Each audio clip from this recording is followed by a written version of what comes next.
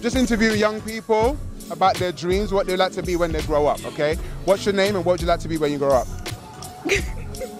I caught them off guard, just like that. Grow up. She wants to be a scientist. How about you? I want to be flight attendant. Wow, all the best with that. All the best, all the best. That dreams, goals, and aspirations. That's what it's all about. Like to be when you grow up. A neurosurgeon. I want to be an actress. An actress, excellent stuff. Are you not working hard at the moment? Yeah. Yeah, please make sure you work hard, yeah? Hello, love, you alright? What would you like to be when you grow up? I don't know. Doctor, lawyer, singer, songwriter? it's like I'm attacking them with the microphone. What's your dream? What would you like to be one day? Well, I would like to open my own stables, so horse riding. Wow, she would like to open her own stable. That must be amazing. So what would you like to be when you grow up? I'd like to be a plastic surgeon.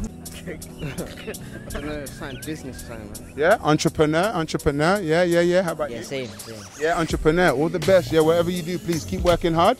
Yeah, don't give up. Stay, stay focused. That's what it's all about, man. Well done. Pediatrician. She wants to be a pediatrician. I like it. Um, a forensic accountant.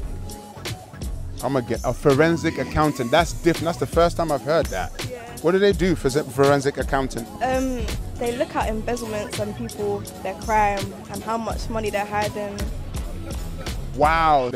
Um, I would like to be a psychologist. a psychologist. Yeah. I like that. Why a psychologist? I don't know. I feel like I like to help people or talk to people. I like Yeah. doing that a lot.